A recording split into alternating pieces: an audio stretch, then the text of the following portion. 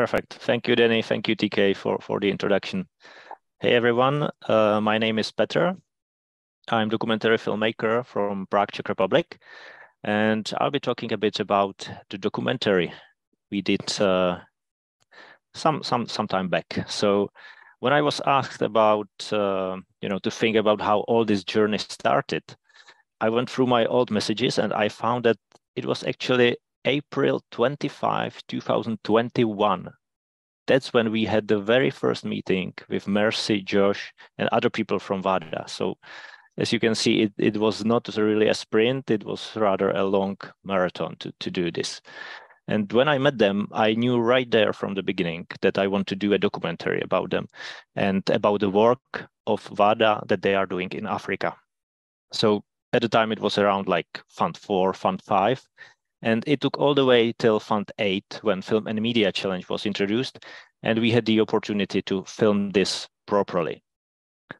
From the start, my goal was to spread the word about Cardano and about Catalyst, and mostly about people who are behind the real projects like uh, building and educating. So that's the whole reason I, I'm, I'm here in this space, actually. Uh, now, what was the challenging part? Next slide, please. It was filmed in uh, Ghana, in Cameroon, in England, and small part in Switzerland. So it was very challenging to like coordinate all the teams and all the parts. That that's why we got into some delays and stuff. We also had to change the duration of, of the movie. We started with 30 minutes, then we realized that we need we need 40. It took some like challenging uh, changes. Um, then the whole post-production phase was made in Prague, where I have a small studio. So we filmed everywhere outside. We took everything to Prague, and here we did all the post-production process, all the audio recording or voiceover recording. Um, next slide, please.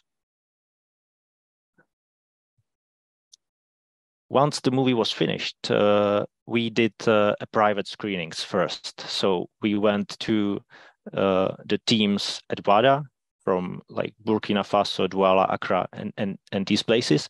And we did like private screenings for these people. Next slide, please. And from that point, we started to uh, go to the festival circuit, let's say. So it's the phase, it's the distribution phase where where we we are trying to reach as many valuable festivals as possible, and uh, we try to submit the movie to them, and then attend to these festivals. So the very first thing that happened was Newcastle Film Festival, which uh, we received Best Short Film Award.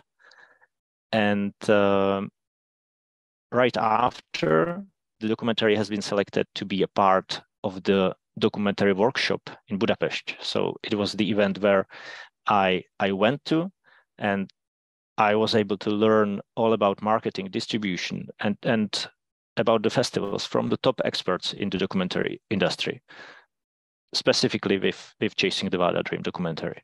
And I really learned a lot there and I got valuable contacts, which uh, I'm sure will help me later and already did. Uh, then the movie has been selected for VD 2023, happening in Rwanda in July. VD stands for Women Deliver, it was a huge conference with over 6,000 attendees focused on gender equality and solidarity. This event was organized by the government of Rwanda, Rwanda, Rwanda sorry, with high-profile politicians and presidents actively participating. And Ardens Film Festival was a part of it, and we were also a small part of it.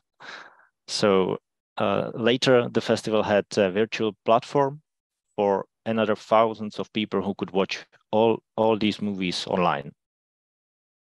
Then just uh, last Friday, we had a special screening in California with uh, people from WADA discussing about the movie. Angel just, just yesterday, I received a message from festival in the Republic of Moldova, uh, where we were recognized by the jur jury as a semi-finalist for this festival.